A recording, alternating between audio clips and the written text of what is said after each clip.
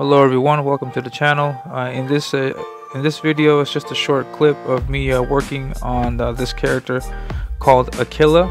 Aquila has a comic that's coming out July 15th, so be sure to uh, keep an eye out for that.